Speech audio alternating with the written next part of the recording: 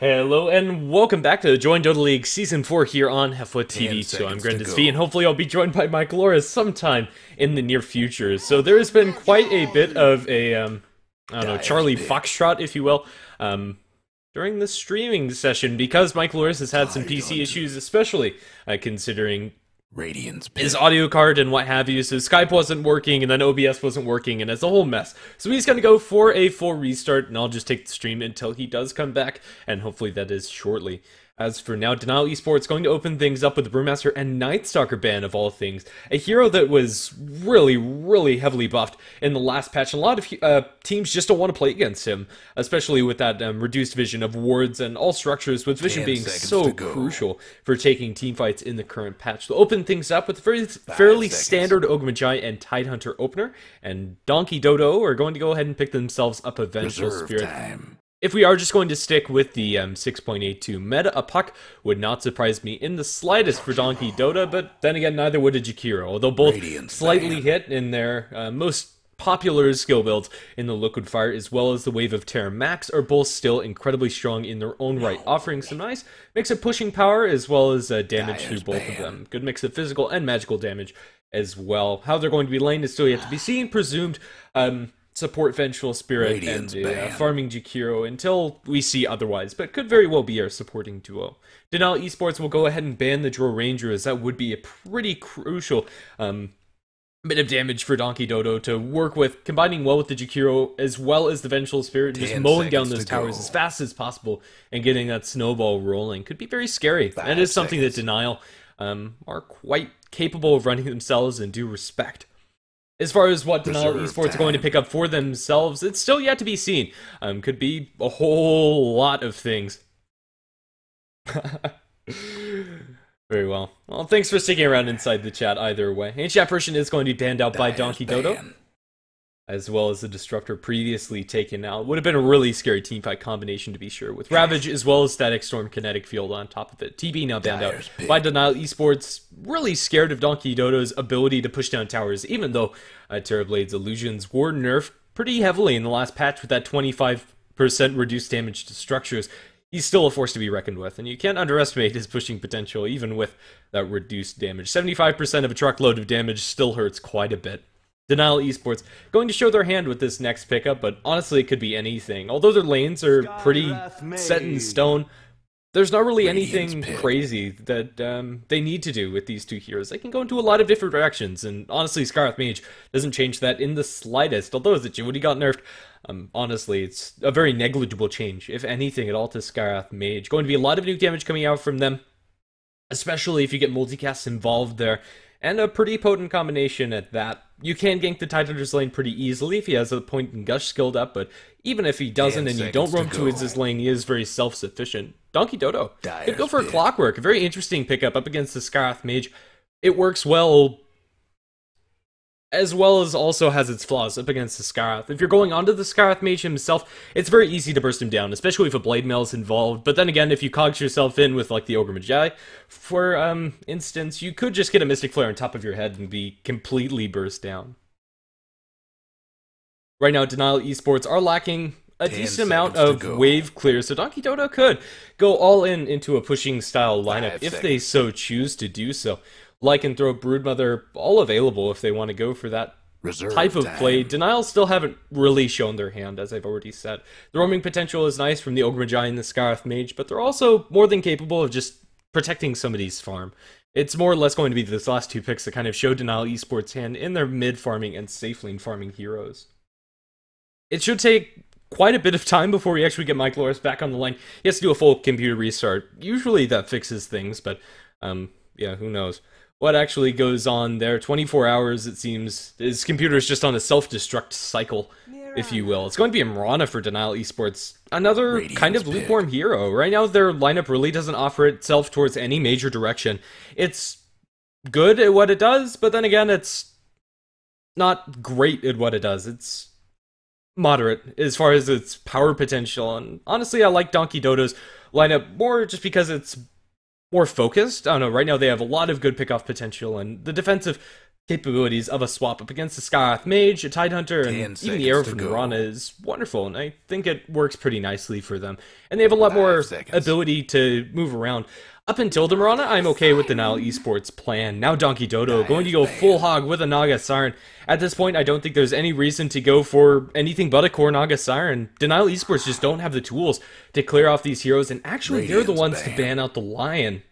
Very interesting. Usually picked up as a hero to sort of counter the Naga Siren by taking out our illusions with the mana drain as well as with the axe. Uh, just a nice instant way to take those out, even though it would have fit very well into their lineup. Would Donkey go. Dota or would Donkey Dota have gone for it either way? I'm tempted to think that that's a misclick. I'd love to learn their reasoning pick. for it because it looks like we're still missing a core for Donkey Dota, unless they are just going to run with that core Jakiro and put as much pressure as possible to make space for this Naga Siren. Denial Esports going to last pick up pick. themselves up a Storm Spirit, relying very heavily on getting these good lanes as well as set up for those arrows early on. With the Fire Blast and Concussive Shot, definitely can work out for them, but Denial, if they don't get the snowball rolling and they play a slow game, Naga Siren is going to be well inside her element. And is going to have a grand time. There's not really much else to talk about it. Well, for now, Donkey Dota are going to be considering their last Ten pick, and they will be showing us what they actually want to go for.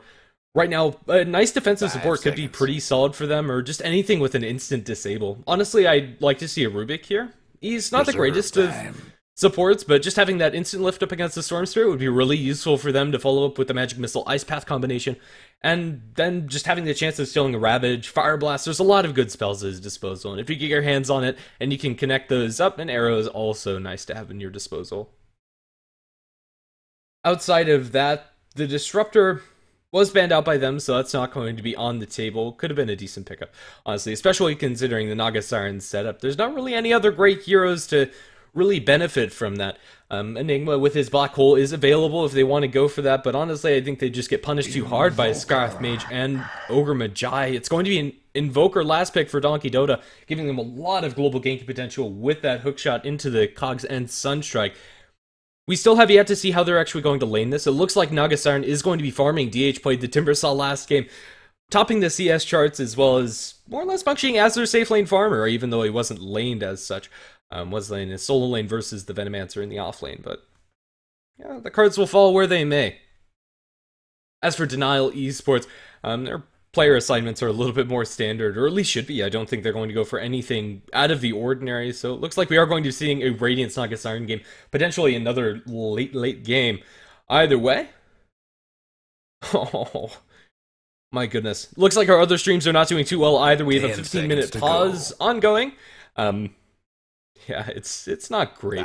Okay, so for now we're just waiting for everybody to select their heroes. Are they actually in this game? I'm not sure. It shouldn't take this long.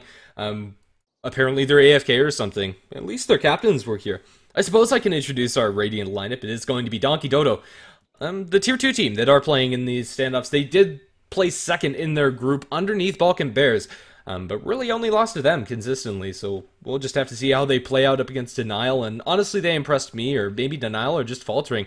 A combination of both is not at all unlikely. Lucian is going to be playing on that Vengeful Spirit, DH on that Naga Siren. Aki on the Jakiro, Inuyasha on the Invoker, and Masakari. Oh my goodness, I'm sure I'm butchering that, but he's going to be playing on the Clockwork. For Denial, we only have two loaded in, so there's not really much to talk about. Cryo J going to be playing on the Skywrath Mage, D-Tax on the Ogre Magi. Yeah, that's that's about it. we'll have yet to see who's actually going to be picking up those last two heroes. It is Denial running with two stand-ins, so uh, as we saw last game, Legion Commander played by fucking Mad. He generally doesn't play um, mid-role for the What's team. with all the so, scribbling? uh, we'll just have to see. Right now, some beautiful phallic drawings on the map. That's actually quite impressive. Not sure I could do that in the short amount of time allotted. That was very detailed for a map drawing. So props to Aki, you can draw a dick. Wow, I, I don't have anything to follow that up, my goodness. Is he going to, like, continue to grace us with beautiful drawings? I'm just going to try to figure out what is going on here. I don't even know. Well. Huh.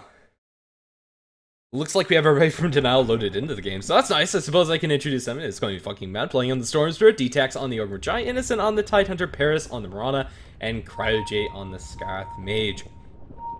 Hopefully we don't have any more holdups, and well, hopefully for us it's not going to be a 2-0 for Denial, but I mean after that long game, it was a pretty darn good one, so I mean that's about all you can hope. Mike Lorus is reconnected into the game, so maybe, just maybe, we can get him onto the line.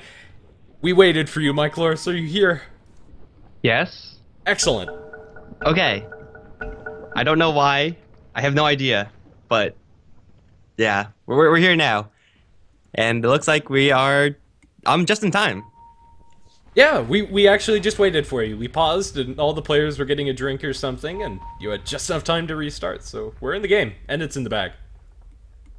All right, so Denial taking game one after a very, very close game. And well, we have ourselves some laning situations here from DD. We got Masakari as the Clockwork, who's going to be heading down towards the bottom lane. Inuyasha's Invoker is going to be handling the mid lane. Illusionist supporting as the Venge, along with Aki on the Jakiro, and DH on the Naga Siren. Looks like it's an offensive trialing with Naga Siren. You don't see that every day.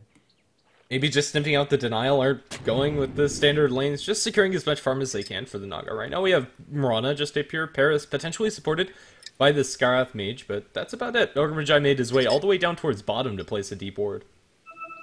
Hmm, so for Denial, it looks like it might be dual lanes for a little bit, though I don't really expect D-Tax to stay down on this bottom lane. He has Boots first as Ogre, which does indicate he wants to roam around aggressively.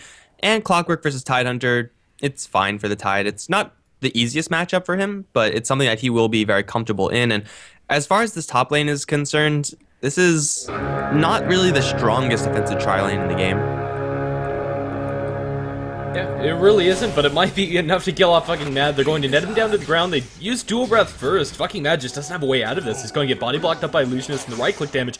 Although not the greatest, might be enough to secure our first blood here. Got a feeling this is gonna be good. Couple more right clicks. He's gonna live at 11 HP. Just needs one more hit. There's a magic missile, and there it is. Fucking Mad is down. Illusionist claiming that kill, but here comes backup. Paris and Cryo both gonna gang up on Aki, gonna make it a one for one. And also Illusionist might be in a little bit of trouble here because there's another arrow cooling down Illusionist which way is it going to be? Up the hill? That might be his escape, although the salve is going to be canceled. Arrow not going to be thrown. Paris just has five more movement speed. That's a two for one. And though Storm Spirit dying is pretty bad, he didn't really lose that much experience because of the timing in which he died. And turning around for two kills, Paris going to get one kill out of that. Overall, not too terrible for Denial. Yeah, I think that's just fine. If you look at the net gold swing, it's actually going to favor them about 120 gold, um, but that is in the pockets of their supports. Whether that's good or not is still yet to be seen, but yeah, I think that's perfectly acceptable for them, maybe even slightly in their favor. DH is going to be farming up towards top, has already gone for that point in net, and farming this lane is going to be very problematic for him whenever Skywrath Mage has the mana to spam out those Arcane Bolts. Well, it was going to be problematic for him, pretty much just given the hero situation. Jakiro Venge is okay as far as protecting the Naga Siren's farm, so if this was a defensive tri-lane, DD would be sitting pretty, but as an offensive tri-lane, they have no access to pulls, or restricted access to pulls, let's say, and they just have to do their best at shutting down Paris. As far as killing off this Mirana, she has Leap and she has sufficient backup, especially now with Ogre Magi coming all the way from bot. So this is going to be a very tough time. They're going to go for Cryo instead. The softer target for sure, netting him down to the floor. Riptide is there. Cryo's doomed to fall. And that's a kill that they can take. Zero armor, Skywrath Mage, less agility now even. He's going to drop. Yeah, taking more than pure damage with that Riptide minus armor as well, so DD, they're still doing fine in this top lane. Naga Siren securing a decent amount of farm. Bottom lane, the Tidehunter and Clockwork are just going at each other's throats. Whenever they're able to isolate each other, get that Anchor Smash damage off. Venge is going to be roaming towards the 2-minute rune spawn. Is going to be a haste rune for Illusionist. Hasted Vengeful Spirit might be able to set up even on the Storm Spirit in mid. Is fucking mad. Is only level 3 in a bit. But the Invoker, he's gonna Cold Snap, but that's about all that he can do. The Magic Missile didn't even come out. Mm, the Invoker is also opening up with Blades of Attack plus Quast runes, so this does look like it's going to be a Wex build for Inuyasha. Um, that's not too terrible, though I do think they could have gotten away with Exort. Burning mana off of Denial's heroes is going to be a pretty nice way of shutting them down. I don't know the chances of them actually landing an EMP onto a Storm Spirit, but if you do somehow, then he's just so unhappy. I would have liked to see Exort a little bit better, just to combo with the Clockwork. The Sunstrikes into hookshot ganks are definitely no joke. Up and top, both teams posturing pretty aggressively, and this Naga Siren has slowed down a little bit. Illusionist, caught out in the trees, will be able to eat his way through. The arrow flies through wide towards the right and isn't going to connect onto anything. And the turnaround potential for DD is certainly there. The amount of sustained damage they could put out just with the minus armor of Vengeful Spirit plus Liquid Fire plus Riptide, like they have quite a bit of minus armor.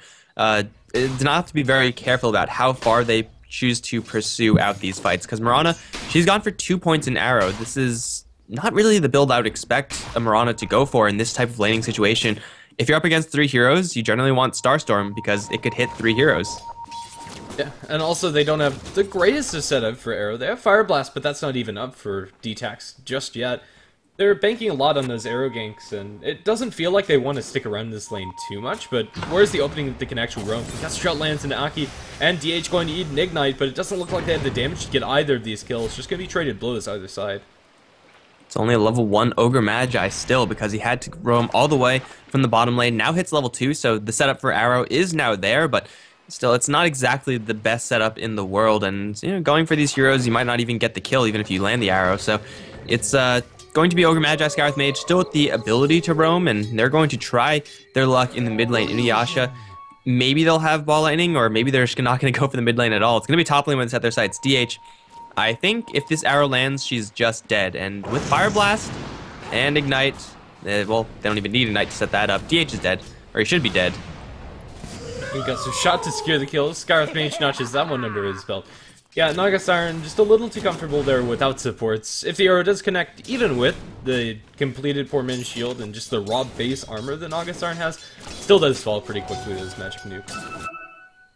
Alright, so that's going to be yet another kill for Denial up towards top. And Naga Siren without any supports really has to be so, so careful. It looks like they're going to switch things up a little bit. DD are going to put Masakari's Clockwork up on the top lane, swap the Naga Siren down towards bottom.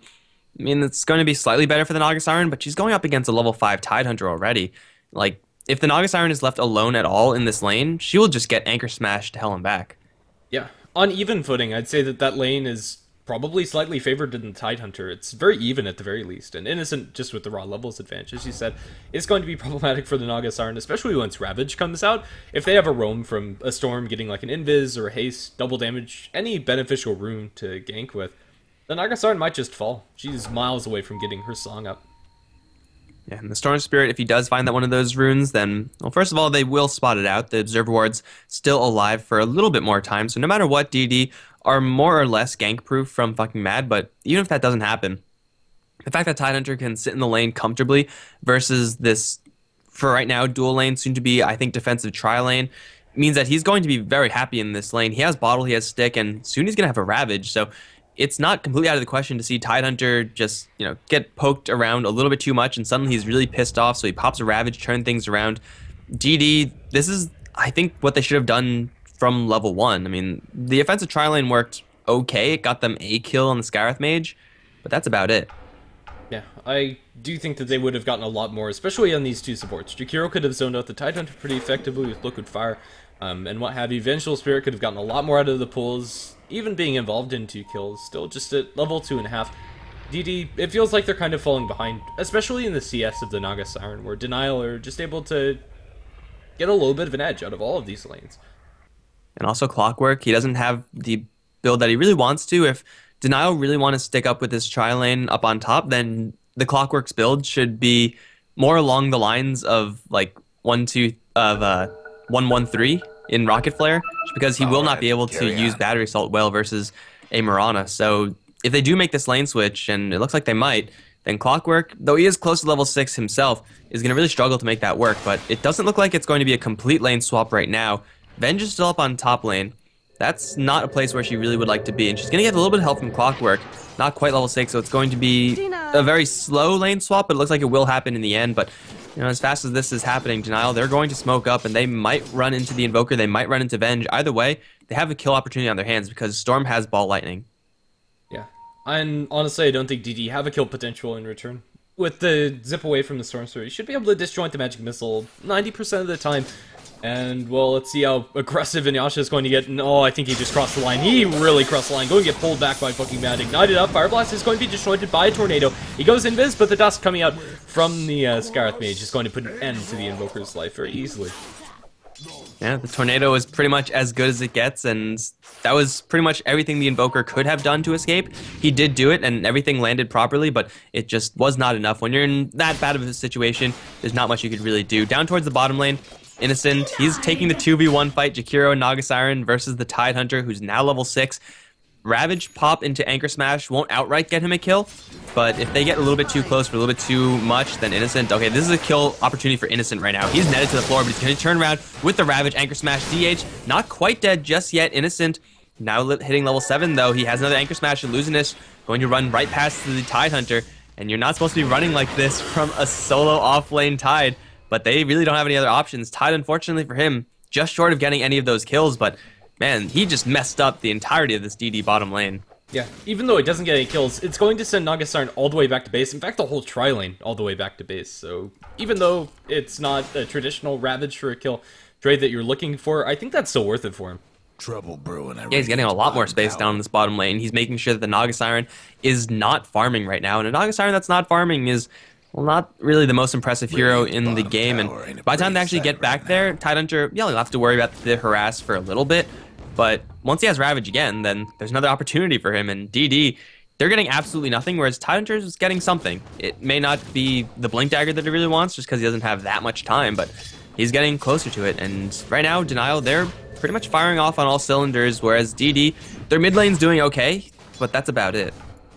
Yeah, honestly, this Invoker really needs to carry a lot of weight come to mid-game. He's getting a decent amount of experience, but especially as a Quas Invoker, you can't just split push your way to victory. You need to look for those engagements and try to find the kills. Storm Spirit uh, was sent all the way back to base, and fucking Mad is going to get a full refill. Ogre is picking up the slack in the meantime, so nothing is really lost um, for Denial across the map. And I do like that they make these smooth rotations to make sure that no lane is left empty for too long.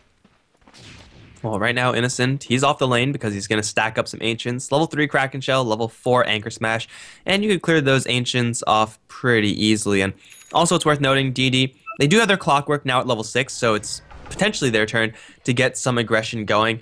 The problem is, Wex Invoker doesn't really play that well with Clockwork. You could land an EMP, but that's about it. Your Tornado probably going to do more hurt than help. So uh, as far as getting kills on whoever's in the mid lane, probably not going to happen. It's more likely that someone dies down towards bottom who's innocent he does not have a point of gush, but he doesn't really care. He's going to go right up to Illusionist, Anchor Smash the Venge all the way down to half HP. Here comes Inuyasha going to land EMP after the hookshot lands on a D-Tax. EMP will explode, killing off the Ogre Magi. Mirana here as well. Really should not be here. Starstorm going to fly. Put a little bit of damage onto Carry, but everyone will back off. Just a clean kill for DD as they bring pretty much their whole team down to the bottom lane. Yeah, it's going to be one kill for them, but in the meantime, Skywrath Mage is farming up towards top. It's a nice kill for sure. Tidehunter now with Ravage up is going to be netted down to the ground. Innocent going to let it fly and now going in for the anchor smash onto DH. If he had just one point in the gush, he might have even been able to get that kill. That one I don't think is super worth Radiant's it, but again, Nagasar not really farming during this time and can't short face arrow, ooh, just whizzing the tail feathers of Abby, but not going to be enough.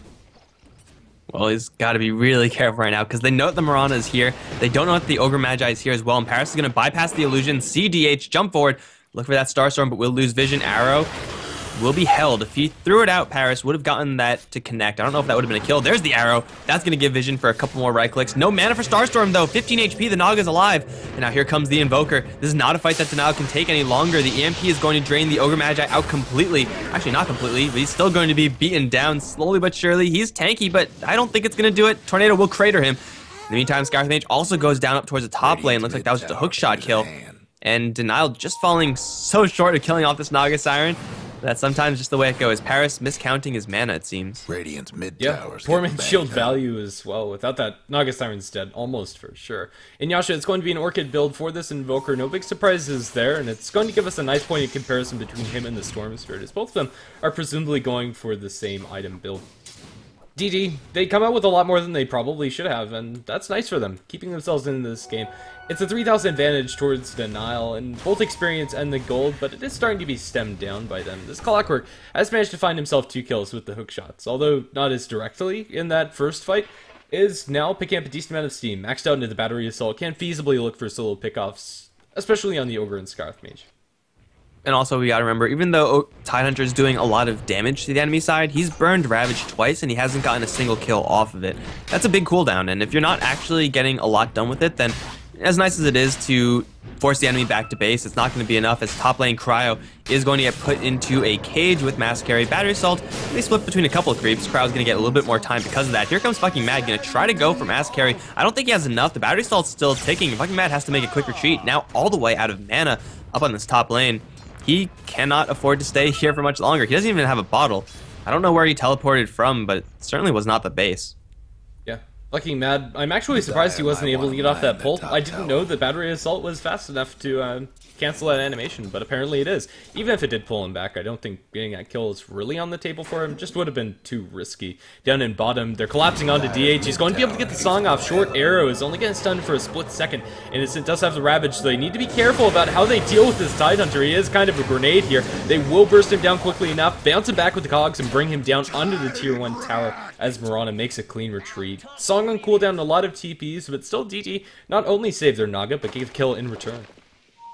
Denial had a really great laning stage, but it seems like their decisions to go for these aggressive plays, or you know whatever they're doing, all their plays, they're just being outplayed by DD. They're making all the right rotations. They have pretty much more heroes at the right places at the right times. Whereas for Denial, it always seems like they're going in with just two heroes or just one hero, and they're getting punished because of it. They might get a kill onto Jakiro right now, but it's going to be a long jump for fucking Mad, going to burn most of his mana. He's going to jump twice, in fact and he still is looking for this Jakiro. That's just not going to happen. Denial, yeah, they're just getting outplayed right now. I don't even know if there's any other way of putting it. They should have had such a better time right now, but one too many misplays, and suddenly they are not looking as great as they were, at least not as great as they should be looking right now. Paris has an invis rune. He's going to look for DH. Arrow's going to fly, which will not hit like plays like this is plays like that Deny really can't afford to making hook shot in, and Masakari is gonna trap fucking Mad completely out of mana. Storm's gonna fall. DTAC's also gonna get clipped by that battery assault. assault's gonna try to fire blast ignite his way out to freedom, but that's not gonna happen. That's two kills. I don't know why you would go that far deep behind a tier 1 tower without your Tidehunter with Ravage, but Denial just decided to make that call and it seriously punished them for it, and it might not even be over because the Invoker is at full mana, full health, and he's going to land EMP Tornado onto Cryo. Burn most of his mana, chase him down. No Cold Snap there. Cryo will survive 40. Inuyasha Silence is forced to back off. They have to respect this Tidehunter. Denial, they'll assemble all their heroes here, so they could potentially turn this around around, but even if they do, best case scenario, they get a support, and it might be Illusionist, Arrow, will be dodged. And Illusionist, there's still no gush in this Tidehunter, really. He just might walk out of here. Illusionist is going to be a-okay. Yeah, honestly, I think there's just one too many misplays coming out from Denial, and that early game advantage is completely gone. But the Storm Spirit does pick off the Naga up towards top. Didn't actually see that go down, but fucking Ned finally makes one stick. Well, that's going to be one more part to his Orchid, at least a little bit more gold towards that item. But compare that to Invoker, who's already holding onto one of those O staves, and He's holding on to quite a bit of gold as well. He's been participating a lot more in the Storm Spirits because he has more to contribute. They're going to try to go for Innocent down towards bottom lane, but the Ravage is going to be popped in response. Aki's going to get tagged with an arrow straight after. That's one down. Illusionist will be able to teleport out of this situation, so he'll be fine. And, well, they actually, DD, bring a lot of heroes down to this bottom lane. They know that Ravage is down. They know that this is the time to fight. If they land a tornado or a hookshot, that's good. Innocent is now trapped, and he's going to get arrowed for his troubles, Masakari, but he doesn't really care. He got the kill for his team, and in fact got the kill for himself. That's another hookshot kill, 5-0-2 on Clockwork, and Masakari just doing work in this game. For sure. Blade Mail already completed here 14 minutes in after quite a large amount of kills going his way. Clockwork is one of those hit or miss sometimes lukewarm heroes, but when it's hot, it's very hot, and Masakari is doing quite a good job of it. We're on a deep behind enemy lines, looking for something with this haste stream, not going to find it. Instead, it's going to be mid, where the sports are DKing out. Detax going to take the lesser half of that exchange as he gets Magic Missile and Ice Path down. Leap forward, Paris looking to clean up the Vengeful Spirit, making it a one for one in the mid lane. have learned nothing. Has to watch out, though. Tornado is available, and it will miss. Uh, if that caught Mirana, that could have been really bad without any leap, but she is going to be fine for now. Denial making a one-for-one support for support trade over in the mid lane. Not really going to be favoring any particular side in too big of a fashion. But uh, still 11-7 right now. DD holding strong onto this game. Despite being down in CS, they're not going to stop. Battery Assault is going to catch Innocent. And with nothing here to absorb the battery assault, there's an arrow. Maybe we'll buy Innocent sometime. Song of the Siren is there, fucking mad. D-Tac's gonna come right into a nap. And they have to back off right now because there is a Storm Spirit on the other end. Leap forward, plus Bloodlust. Paris looking for something, but he doesn't have an arrow. That's two TPs from Denial, completely down to the two because of that song. Yeah, the Storm Spirit did split push to the top lane, does have his two Oblivion staffs completed, but fucking Mad really needs to make this Orchid do some serious work. Days. And it's going to be met by one on the Invoker not too soon after that. Inuyasha is farming a little bit slower than the Storm Spirit, but still having a decent amount of impact. The EMPs on top of the cogs right are now really nice to have. Not as great as the EMP Invoker. Either way, Inuyasha is going to be pulled back. Storm Spirit looking for the Soul kill. Tornado Gun completely whipped, as is the EMP. Well, it's actually going to drain a decent amount of fucking Mad's mana, but he'll get an Invis Rune on his way out. Secured by D-Tac, so Invoker just biting off a little bit more than he could chew. Alright, so in fucking Mad is going to be winning the Orchid race, and once that happens, getting kills in the Snaga Siren going to be a lot easier for him. DH is just going to straight up rush that Relic, so he is going to be not the slowest relic carrier in the world, but he does have to be careful because of how easy it is for Denial to shut him down. As far as Denial's farm, Mirana's going for you know, pretty balanced build, 302 on that hero, and Paris is keeping himself alive while at the same time doing some serious damage, but he has to be really careful right now because there's a hook shot available. Killing off this Mirana, though, without hard crowd control is going to be really hard, and level 1 magic missile isn't really hard enough. Radiant's bottom tower. For sure. Right now, just some posturing coming out from DD and trying to make as much space as possible for that Naga Siren. It is going to be a pretty late Radiance, but um, just the amount of fat, um, farm that Naga can accrue is going to make up for the fact that she's not going to get that online fast enough. Looking help. towards mid, potentially he jump onto Inuyasha is brewing, but he's going to back off and meets up with the rest of his team. Mm, they popped Moonlight Shadow with fucking Mad farming the top lane, so DD, I'm assuming they saw that and then they just back off because that's a pretty easy play to make. Uh, so Invoker really was in no trouble of dying there. There is a Blink Dagger on the Tidehunter with a level 2 Ravage, so he is a pretty dangerous threat right now for Denial to work with, him. that might buy them a little bit of space, but DD, even if they do get blinked upon, even if the Ravage does fly out, they have Clockwork, they have EMP, they have so many answers that they could throw the way of the Tidehunter, assuming they don't outright die to a Ravage the turnaround potential for DD is huge, especially if Naga Siren's there. Song into disengage is pretty easy. Definitely. They spot out the Storm Spirit while he's farming, but aren't able to do anything about it. After quite a lot of action around the map, it's slowed down for a little bit. Clockwork Hookshot has been on or off of cooldown for quite some time, as DD are just looking to slow down the pace of this game. Denial with the freshly picked up Orchid are going to change that fact, however, looking for a pickup potentially onto DH himself. Instant TP to tower coming out from the Storm Spirit, but the Naga is not without backup. Could be dangerous? Going to zip forward to the creep wave, blurring some illusions as inside the jungle. They do get the Ice Path onto two, but hookshot forward onto Cryo Jays, getting burned down by the Rock Brush, but not fast enough. The return with the Mystic Flare, the Blade Mail was either just not available or not popped at all. Zip forward by the Storm Spirit on the sidelines. They found themselves DH on the outskirts of this fight. They'll be able to bring it down very easily. As Murata completes a dominating spree, and that's going to be 3 for nil in favor of Denial. Mystic Flare doing some serious work there for the Skywrath Mage, not only getting the kill, but also ensuring his escape. Also, Tidehunter's Ravage, connecting onto a whole bunch of heroes there, even though for Denial it was kind of a scattered engagement. Uh, that's perfectly fine. They landed a Ravage onto a whole bunch, and this time they actually had follow-up. It was not just Innocent all alone. He actually had teammates there, and Turns out if you actually have teammates, it does make a pretty big difference in this game. So Denial, they take a pretty nice fight. They take a tower as well. They are still in control of all of their tier ones. So it seems like once Denial stop making these misplays, they're actually able to take some really fantastic fights. Every single time Ravage is up. And well, Innocent will have a four staff soon enough. So those Ravages pretty much guaranteed to land on two, maybe even three heroes every single time. Right now, DH has been severely slowed down just by the amount of times he's died. 1, 3, and 6. It's not a terrible KDA by any means, but it's not being backed up by a huge amount of farm either. Being doubled up in the CS department by the Storm Spirit. DH just hasn't found a home inside this map. And if they kill him once or twice more, he can't not go for the Radiance. There's not really another option for him, but then again, it's just going to be so delayed. The impact of that item isn't going to be as useful as it would in another game. And Yasha, now with this Orchid complete, is going to pop that Ghost Walk, moving at 455 movement speed, trying to find a pick, but that's just not on the table right now. Four Heroes of Denial are incredibly defensively positioned and all grouped up. The only one alone is Tidehunter, not anywhere close, at least for now. And then Yasha has to make his retreat. He's going to maybe run into the Skywrath Mage right now, who does have Dust. So that could be a potentially bad situation for the Invoker. There's the EMP plus Orchid. There's a Fire Blast, though. Multicast as well to bail Cryo out. No, not quite. Orchid is going to take him down innocent. Going to give chase to Inuyasha. Storm Spirit not here. Arrow going to fly.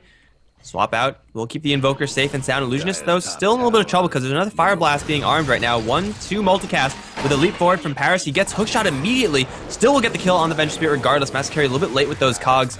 That's going to be a one-for-one support for support trade. Once again, in the meantime, bottom lane, fucking mad, trying to go for DH and is just going to fall short, but does force the Naga Siren once again all the way back to her base, does force out the Song and the Siren usage.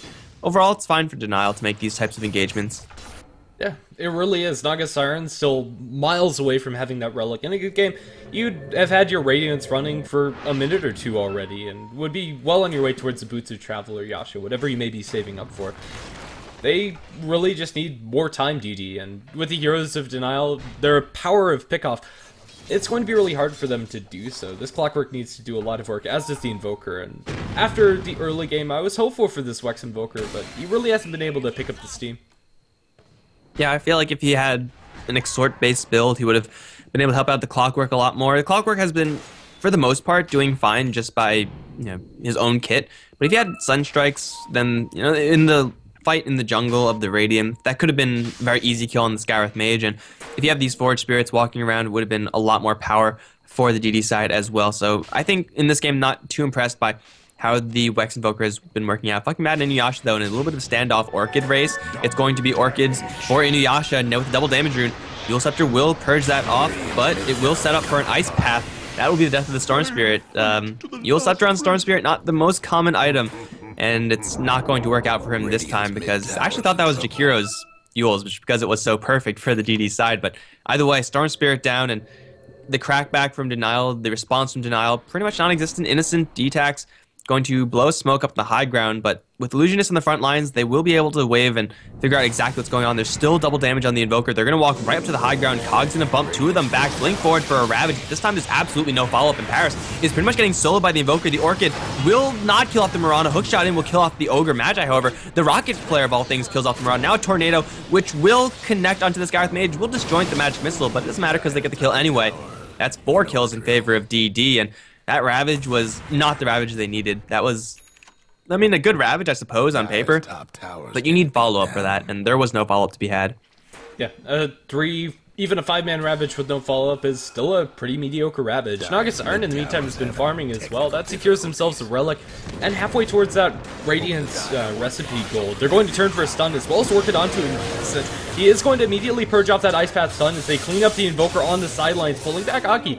Storm just has to get out of there. There's not much left inside the tank to go for another kill. But now they got Sean to Illusionist. They might be able to turn. The Ice lands onto fucking Mad, but they just don't have another way to bridge the gap. Illusionist is going to be just fine. Still, I think that's completely acceptable for DD. It is a really topsy-turvy game. Just every time the Ravage comes out, if it's good, then I want to fight. If it's less than good, it's going to go DD's favor.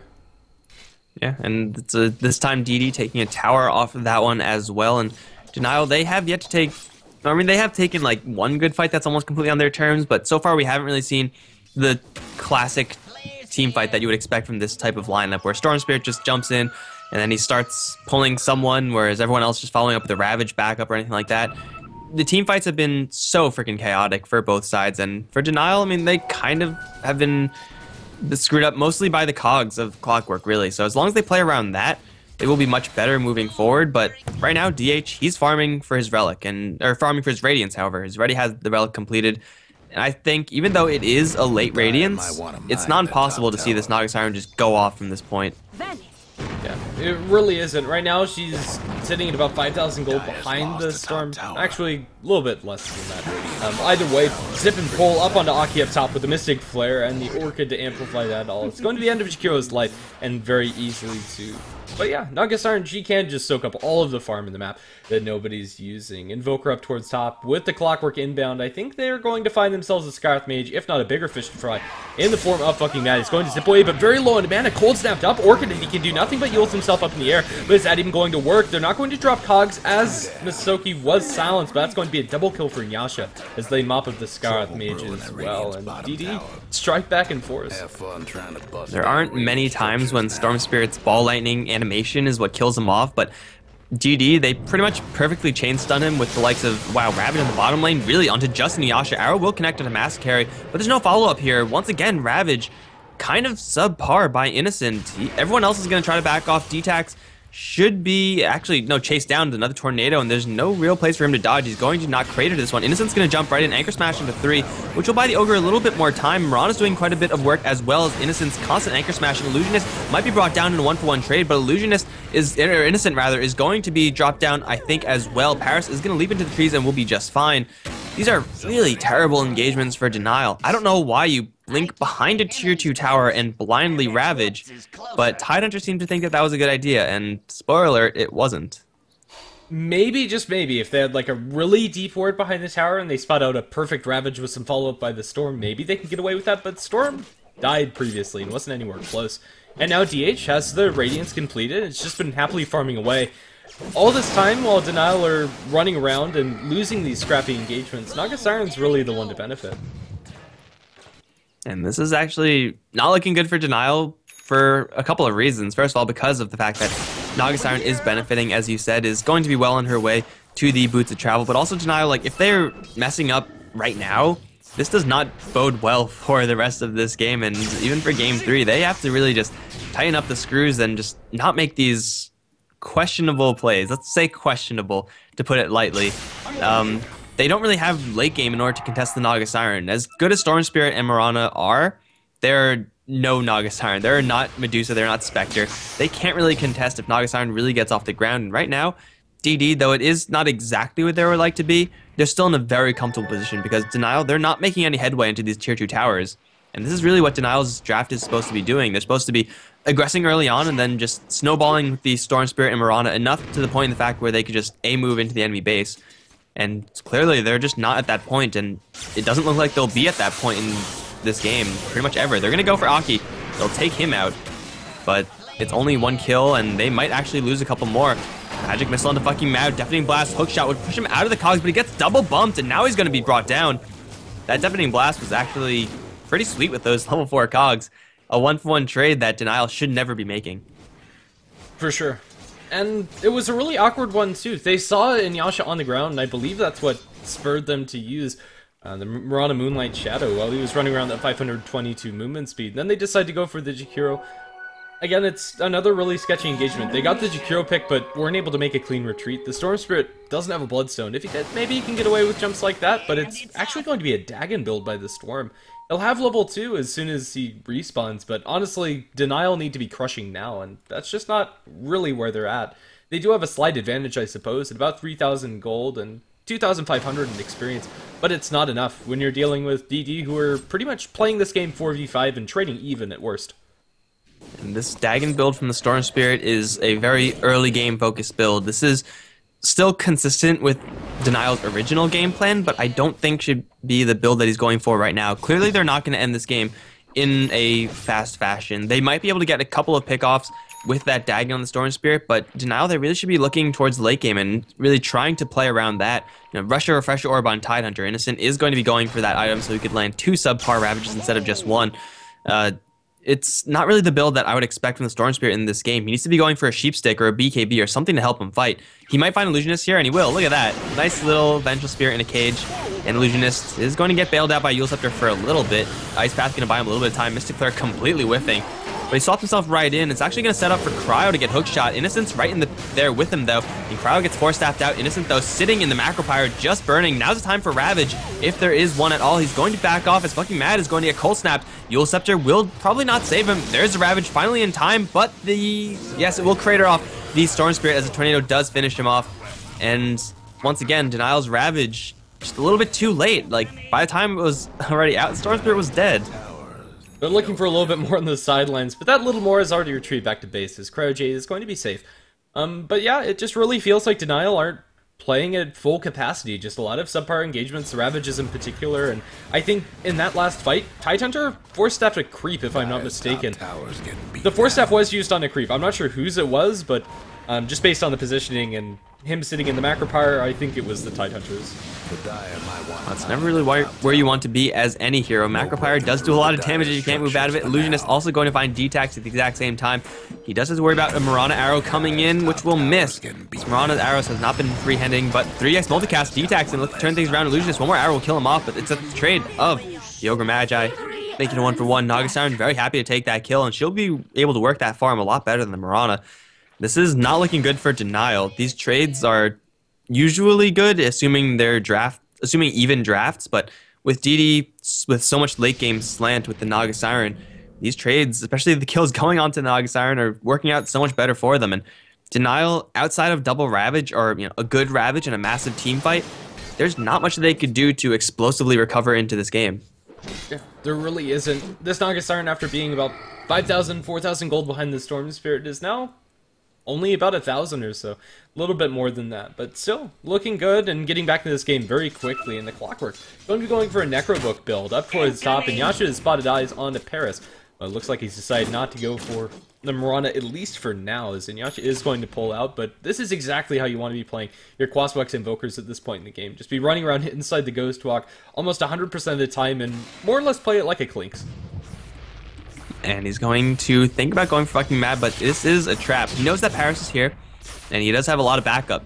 Clockwork, hook shot, not going to be thrown just yet. Macropyre is there to thin the creep wave, so they don't have to worry about that, but they're going to jump in straight towards Aki. Hook shot in, it's that was not the right hook shot target. Now Tornado going to be hitting onto absolutely everyone, and Nasha will not kill off Cryo, and will be Moonlight Shadow out. Paris and company going to be retreating. Cryo still alive for now. It's just a kill on the Jakiro. And I think Denial have to be pretty thankful that they didn't lose any heroes in that engagement, because that could have been really bad. Yep. That does take do Denial most of their heroes to fight inside that engagement, and the Naga Siren is always getting something during this time. However, Blanc upon Ravage onto DH. It's already backup, however. They need the arrow to land, and I just don't think that's going to happen. Song disengaged from Naga Siren. Again, Innocent going to find Ravage that just doesn't really do much. All right, I'm going to call it right now, Innocent. You probably should not be playing Tidehunter if there is a game number three, because the Ravages have been. Like, have there been any good Ravages in the jungle fight in the Radiant? That was good. Everything else has just been either without any follow up or too late. So, I guess that does kind of mean without follow up. So, this Tidehunter just really has to get a better idea of where his teammates actually are because the Ravages have not been good, and this is not a spell that you could afford to whiff. Like Ball Lightning, if you mess up a little bit, yeah, you could fine tune it, you'll be fine. But Ravage, no, you don't have that luxury. Inuyasha is gonna get jumped by fucking Mad. Fucking Mad very low on mana, however, and Masakari is going to bail him out. Gush dodged by the Eul Scepter. Now Eul Scepter onto the Tidehunter. The Skywrath Mage will kill off the Invoker in the end. Cryo also in a little bit of trouble right now. Looks like it'll be a clean retreat for everyone else on the Nile side. Once again, they're lucky to get out of there alive. Illusionist is going to TP out of that, and he will be fine as well. So it's just a clean kill on the Invoker and Denial. They all escape successfully innocent. Force staffing into Cogs. That is not how that works. I mean, we seem to be really harsh on this Tidehunter, but Denial, they definitely need to tighten up the screws. In some form or fashion, they go very deep onto DH. This time, with no song available, he's going to get sold up by fucking Mad. This is the pickup that they desperately needed, and they need to keep on getting it. Although it's annoying to die as an Augustine, the bigger issue is that you're not farming for a minute. That minute would have been Naga Siren's Manta style, or very darn close to it. And they also have an Aghanim Scepter quietly farmed up by the Magi. It's not a super fast Aghanim Scepter by any means, but for the support, it's definitely respectable. And D-Tax has been getting a decent amount of multicast, so maybe they have enough power to tide them over in this game, but they just need to keep up this aggression. Make sure they look for these kills. Zip away from fucking Matt. Going to find himself hmm, a bounty rune, going to pop that immediately. And presumably just go all the way back towards this jungle. Was the Naga Siren at full HP when Storm Spirit jumped in? I think about 70%, maybe a little bit more. All right, so fucking mad, almost capable of hundred zeroing the Naga Siren is going to be going for a sheep stick, so he has a little bit more time.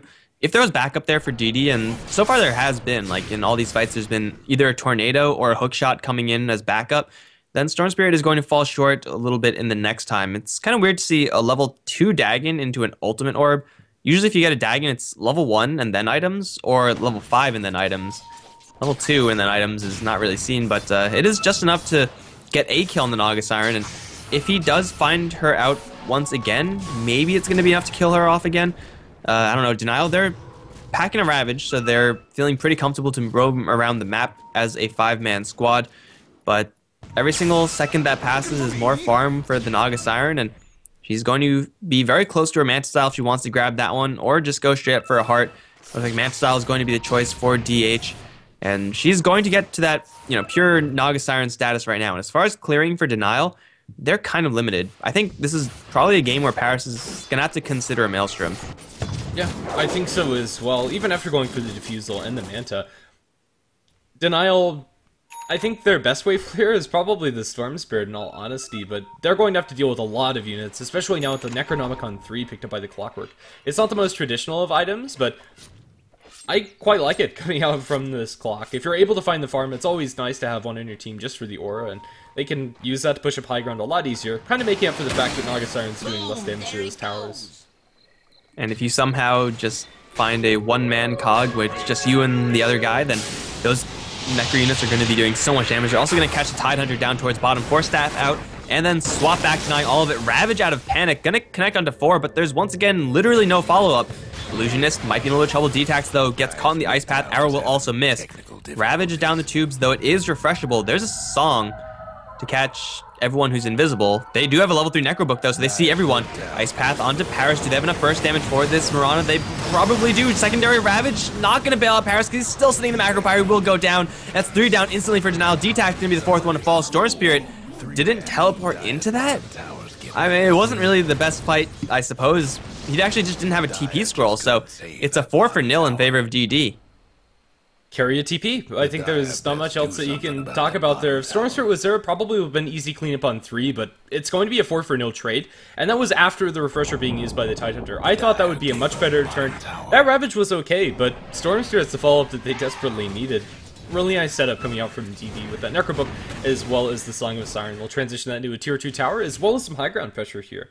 It's not going to be with the Naga Siren, she's out pushing top and a little too low to actually join the fray. But that's your Manta Style completed and almost Reaver money. It's really scary. Denial, they can't be taking fights like this. Even though the Storm Spirit Mirana have a decent amount of net worth, it's not really translating into anything super tangible. Manta Style Diffusal Blade is nice for Mirana, but it's not as nice as having a Manta Radiance on your Naga. Yeah, I don't think Denial have actually been... They, they haven't actually fought as a five-man team for the entire game. Like, if Storm Spirit was there, as you said, most likely three kills at the very least. Who knows? That would have even would have likely saved some of his allies in the process. So fucking mad with no TP scroll. I mean, it did look kind of grim once they got caught by the Song of the Siren, so his decision to not TP is understandable. They're going to catch Inuyasha here, but fucking mad gets cogged up. He's going to ball ending out of that immediately, but Inuyasha taking a couple of Fire Blasts, just one, no multicast yet from D-Tax, lands a nice deafening blast, but it will not be enough to save his life as Cryo is on the run from Necro units. While landing out from the Storm Spirit. They're going to turn things around with now Paris has joined the fray. Cogs are there though. Purge onto Masakari. In the meantime, Jakiro does finish off the Ogre Magi. There is also Avenge here. Arrow going to fly into Aki. They have to worry about the Naga Siren now, and they will all get caught. That's two. Ice Path set up only onto Paris. No, no, only on fucking Mad, actually. They'll take the Storm Spirit down in a hurry. Paris has another leap out, and he will make it out alive.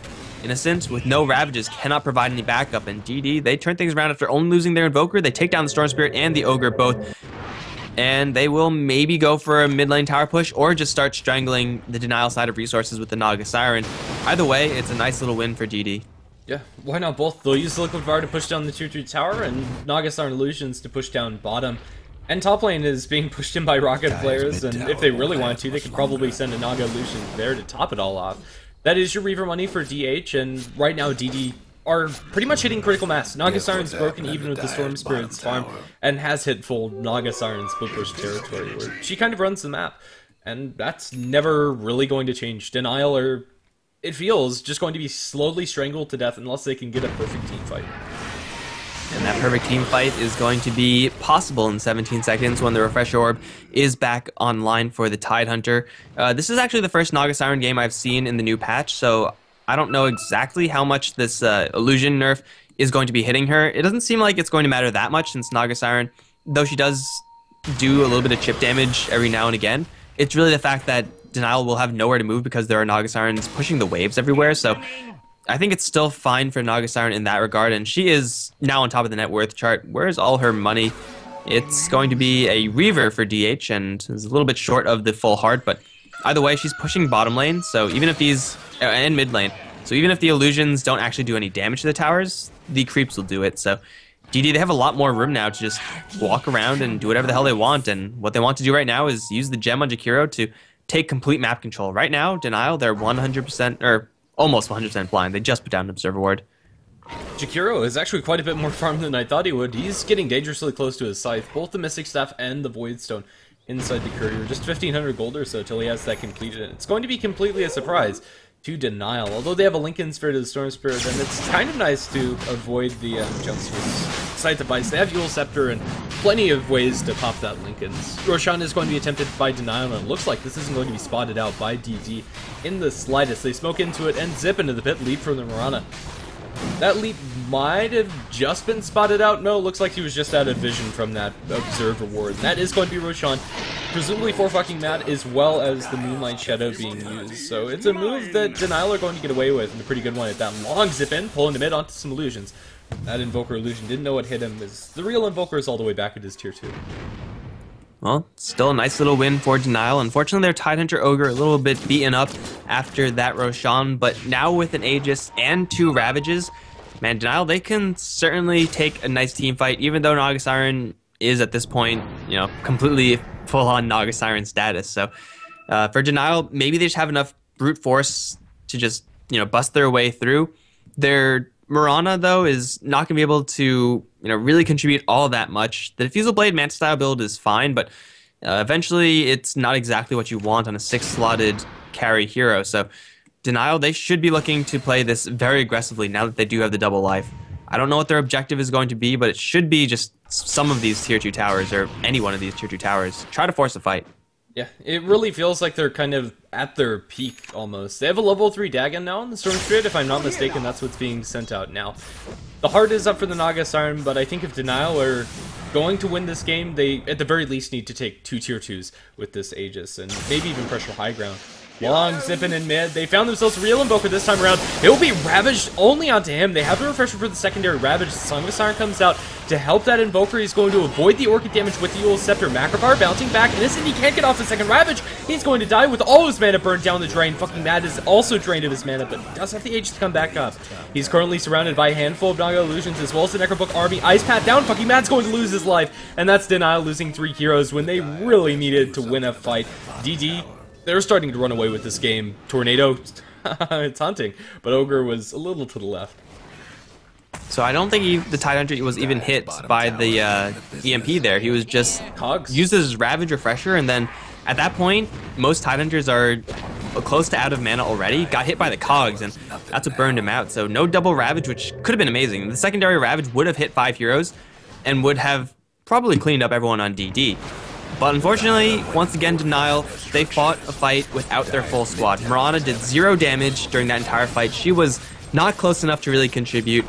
And I don't know why Denial keep doing it, but it's not doing them any favors. With Storm Spirit down for 45, DH, Inuyasha, they're going to lay into the Rax's D-Tax, going to throw a couple Fire Blasts here and there. Paris going to get hookshot immediately when he tries to go for DH. Pops the BKB, tries to turn things around, doing some pretty good damage to Masakari, but not enough.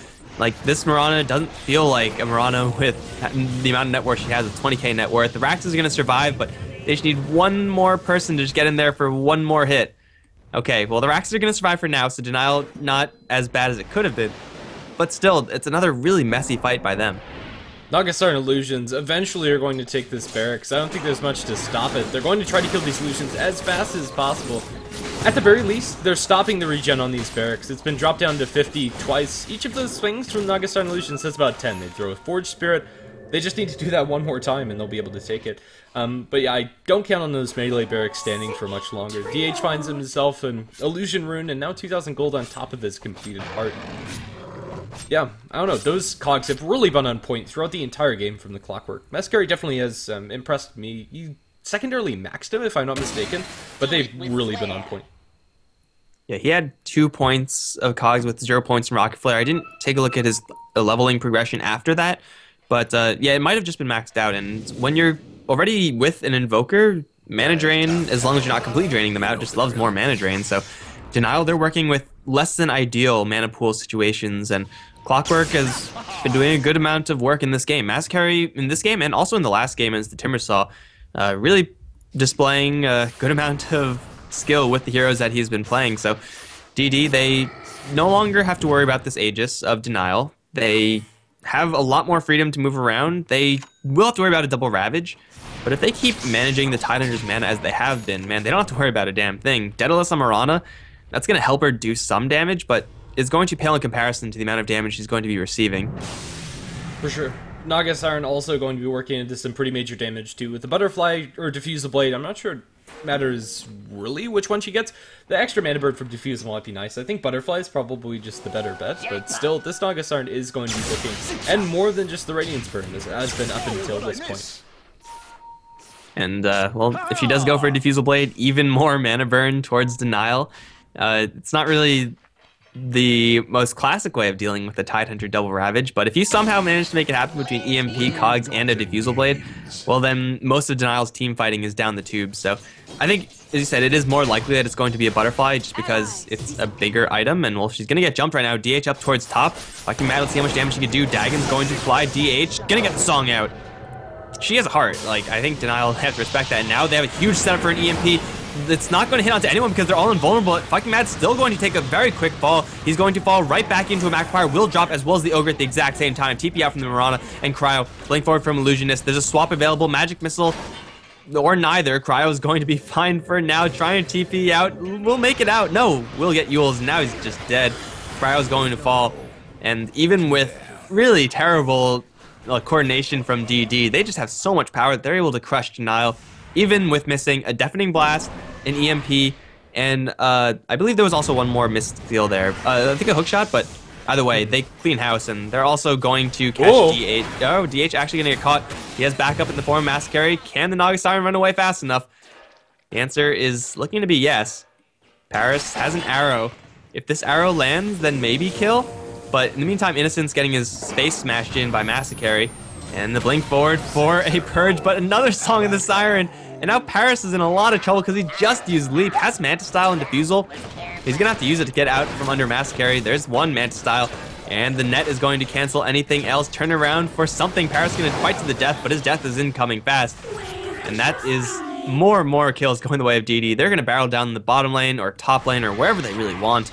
And Denial, they have to buy back on their Tidehunter maybe if they want to defend this, or they're just going to sacrifice one, probably two sets of Raxes. It really feels like it. The silver lining is that Naga Siren is going all the way back to base, and she is completely tapped out of mana, and is sitting on quite a lot of gold. But Boots of Travel, that's pretty much it. Creeps pushing up top and mid lane. The other heroes have taken that barracks in its entirety. They lose the bench, but now looks like they're going to take even more. The Ogre and the Skywrath Mage to fall after Masakari is able to bounce back the Ogre. They'll find fucking mad. Ice Path after the battery assault. He's going to be tornadoed up and probably cratered down. He's going to be dropped up. Eul Scepter just delaying the inevitable. He's going to be able to make a long zip back to the base. And fucking Mad survives on double digits HP. But it doesn't save his base Sunstrike. strike. A little bit off the mark. Fucking Mad's going to live. You're in your fountain, but you're still not safe. Small amounts of damage, of course, from the uh, Rocket Flare and the Sunstrike, but you know what? DH with Boots of Travel. Oh, wait. Huge zip in for fucking Mad. Gonna bulldoze Jakiro. That's ending a monster kill streak? My god, that's quite a lot of kills. Ravage gonna connect onto two, and Yasha blocking that all with his Ravage. Now the Song of the Siren. Fucking mad. It's Song of the Siren just to retreat. Rax is going to survive on the top lane and the bottom lane both. But still Denial are facing a Rax disadvantage at this stage in the game. And they no longer have that one Ravage. Hell, they don't even have a single Ravage. I think DD can afford to just go back to their base, TP back, walk out, and then slow push another lane, knowing that there's no Ravage available. For sure. DH is also going to have a completed Butterfly if he ever wants to send that out to himself, currently sitting on 6,000 gold. He might be considering saving buyback, but at the very least, buy yourself an Eaglesong. You deserve it. Right now, DD are looking for just a smooth sailing game. Dagon 5 complete on fucking Mad, but that's not the item they need. I don't know, it just feels like they need a lot more than just a little bit more nuke damage. The hard on Naga Siren just isn't going to ever give way. Even these illusions are really hard to deal with. When you're losing to two Naga Siren illusions, you know that you're in a little bit of trouble. Uh, this Dagon build would have been, I don't know, really good on the Storm Spirit if he had a really hard carry behind him. Uh, someone not Mirana. Like if he was the one, if it was swapped, if the Mirana was Naga Siren instead, then the Dagon build would make a lot more sense. Because the point of Dagon, pretty much ever, is to, uh, except for Tinker, is to just take an early game lead and buy a whole bunch of space with burst damage. It's not supposed to be a late game plan, even though it is such an expensive item. So you're protecting and providing a lot of pressure for a Mirana. That's not going to win you any games. Mirana, even though she may be six slotted, is going to lose versus a six slotted Naga Siren. Will probably even lose to a six slotted Invoker. So this is uh, not really what Denial want to be doing with the items and the draft they have. It just doesn't match up well. No. That said, if DD sit on this Naga Siren for too long, maybe they'll run into an issue where the Naga Siren gets capped out and can't really get anything more, but even then, I'm not sure Denial have enough heroes that really scale. The big boosts in power for the sports have pretty much already been met. The Ogre Magi with his Aghanim Scepter and Skywrath Mage. Honestly, I don't think you're really getting much stronger ever, even with the Bloodstone Ags or what have you for Cryo-J. It's just not going to come out at any decent time. And right now, DD, they maybe are just waiting for Roshan. It's going to be a rather long Roshan respawn for them, but all the while, Naga Siren is just split pushing literally everywhere. So pretty much no matter where you go as Naga, you're going to be running into a couple of Naga Siren illusions, and not all their heroes are actually capable of handling those illusions very well. Top lane's being pushed in very aggressively. Bottom lane, Clockwork, just by himself, is providing a lot of pressure down there, but they're going to actually all head up towards top lane, not waiting for Roshan. This is probably the worst time for DD to be doing this, though I think they're far enough ahead that they could probably get away with it especially if they run into Paris right now, and they will open up with the Hex. There's a blink forward for a stun. Paris needs some help right now. He's going to leap out, and he will be just fine. Fucking mad. Gonna try to go for any option in the meantime. Will not make that happen. Ravage can connect onto everyone. Another Ravage being armed up will be thrown. Will connect onto two as well. Paris with the BKB just right-clicking onto pretty much everyone. Nagastar was also picked off in the meantime. He's going to be a 2 for 0 so far. Masakari in the back end, trying to get a little bit closer to the fight. Will hook shot straight in to kill off the Mirana and now is forced to be on the retreat. Multicast onto Aki as Janile still working with a numerical advantage right now. Clockwork Jakiro just have to try to retreat. Fucking Mad completely out of mana. It's going to be Aki to fall as Fucking Mad losing even more mana to these cogs. Clockwork should be fine, but Denial, they take a massive team fight. Finally, their double Ravage lines up. This time they actually have follow-up. Would you look at that? It actually makes a difference. A lot of that had to do with DD also taking a really subpar engagement, missing their hook shot, and just not able to connect onto anything. The BKB came out pretty late from the Invoker. I can't really blame him. A Zipping in Storm that's dagging you is going to chunk you down either way. But yeah, he was already down to about 30% HP at the start of that fight and just wasn't able to accomplish much. He bounces Innocent back, but the EMP didn't drain enough mana, or didn't connect, or what have you, so Innocent's able to get off that secondary Ravage. I believe that instantly killed off Naga, and if it didn't instantly kill her off, it was pretty darn close. Song wasn't able to come out there, and without those tools, DD have a hard time resetting and looking for those engagements. Had the hookshot landed, maybe it's a different fight, but very scrappy this time on DD's fault. Or if they just had a little bit more damage to instantly kill off the Mirana within the duration of one Hex, that could have been so much different from DD, but falling short, as you said, on one too many fronts in that fight, and ultimately Denial are the ones to win it. It's going to mean that they're going to be feeling a little bit better about themselves in this game, but still, without double Ravage, Stupendous. they are not going to be able to replicate that. It's just impossible. So it's going to be them 100% reliant on these Ravages, and, well, the next Ravage is going to be in 45, double Ravage in 90. And by that time, DD are going to be knocking on the front door of the Denial top lane. So here's the challenge. You just want a team fight with double Ravage. Can you do it with no Ravages? Because that seems a little bit more difficult. Naga Siren still has yet to pick up that butterfly. Honestly, I have no idea why he's not. Even if he picked up that butterfly, I think he'd still be able to um, have buyback guaranteed inside the next fight. But I don't know. I can respect if he did the math and it's not the case. Melee Barracks going to be chipped down by the illusions, but not heavily. The Necronomicons are going to be doing quite a number on it, however. And that's Melee Barracks down to half. They're very low committed by DD. They just need to keep this up. Four times multicast on the Melee Necronomicon is going to end its life one way or another. Starfall from Paris. Is going to do it in, but it continues. They're going to rules up the Tide Hunter. They have an Ice Path to follow up. Tornado going to bounce him up in the air into the EMP. Hook shot on the fucking Mad. Fucking Mad now going to be drained of his mana, but not enough. Able to zip out from this fight. However, the Melee Barracks not going to be so lucky. It's currently stationary silence on the DH. They get the Ravage. They only have one to work with for this fight, but it's going to be enough to bring down the Vengeful Spirit. DH dropping low, not able to get the song up before he's pulled, and now he's going to drop down. Paris right-clicking for all he's worth. Buyback from the Naga Siren. They get the Melee Barracks. Was that buyback really necessary? DH wants to get back in this fight, wants to get some kills. Hook shot onto the back lines, jams it in into the Skywrath Mage. DX going to be multicasted up by D-Tax, but not going to be enough to save this Ogre's life. Force Staff Might, however, is going to be dropped low to the creep, 66 HP. The creeps will not be able to do him in as he makes it back to the base. Fucking Mad wants to get back into this action and try to focus down the Naga Siren. Long Zippin. They found him. Refresher Ravage onto DH. Hook shot into the illusions. And now they pull back DH. This might be a tieback from Naga Siren. Force Staff going to be MVP for Naga as she's able to make it out of the fight. Tide Hunter not so lucky. Beyond God like Ramasakari dropping low and probably a little too up to go for this. Fucking Mad going to jump back in. Lincoln Scepter going to be popped. Deafening Blast going to bounce him back. And now Inuyasha possibly out away from his team a little too far. Buyback from the Clockwork wanting to get back into the song from DH going to save his life. Maybe that's the end of it. Masakari going to be diffused up. He has a hook shot over to the Naga Siren. Force staff up to the high ground. Doesn't have TP. Use that to get into the fight. With hook shots galore, he should be able to make it out, but maybe I spoke too soon. The Advent is up, going to pop that Necronomicon 3, and it looks like Masakari is out to safety. After all said and done, everyone uses buyback, or most people use buyback who have it. At least anyone who needs it uses it. And denial, they don't even make a successful defense. They do a lot better than I thought they would do. So all credit to them. They managed to stall out for long enough to get a Ravage up online. Eventually, they do use the double, but they lose Raxes, so that's not good for them. Now two Raxes down, and with again the same situation that we just had. It's going to be DD going down towards the bottom lane, knowing that there's no Ravage. Storm Spirit going to look to pick off DH beforehand, though. But this Storm Spirit just doesn't have enough mana, or uh, damage to do this. He's going to instead change his mind, go for the softer target in the Ventral. At least he gets something. DH closing in fast, though. Song of the Siren, no, it's going to be a Hex from the Jakiro. Force Staff out from Paris. DH gonna get a little bit closer. Is he gonna pop a song now? He sees three heroes, but he gets silenced immediately. It's gonna be Cryo to get obliterated by the Siren. Mystic Flare doing next to nothing. And now they're gonna chase forward for whoever else they could find. Won't be anyone substantial. So it's just gonna be a one for one trade, but Denial, they really need their Skywrath Mages. They need every single person, whereas DD, they don't really need their Vengeful Spirit. This swap and stun, they're nice, but you could work around that. Yeah. Especially if they catch fucking Mad right now. Oh dear. Fucking Mad, shot. hook shot in, hexed up. I think he's just dead. And fucking Mad does not have buyback. Already used it in the last fight, and DD might have just secured this game number two. If the third lane of Barracks goes down, I don't think there's really any hope for denial. Maybe a Hail Mary push, and if they kill everybody on DD twice, they can do it. I suppose the Naga Siren doesn't have buyback, but this melee barracks on bottom, at the very least, going to die. Hook shot on the backlines. They found D-Tax going to force tapped out of the cogs. It's going to burn his mana, and now Innocent going to be dropped. Not a single Ravage is going to use this fight because he just doesn't have the cooldown. Disconnect from fucking Mad, it's going to be GG called, and we're going to a game three.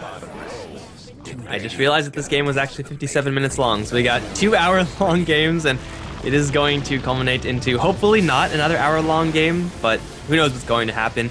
Uh, denial, they have to try something different. I don't think this is the type of strategy that they could really run with. It's very delicate, very hard to get right, and Donkey Dota just had so much more going for them. They had a lot more room for error, but it didn't even seem like they needed it.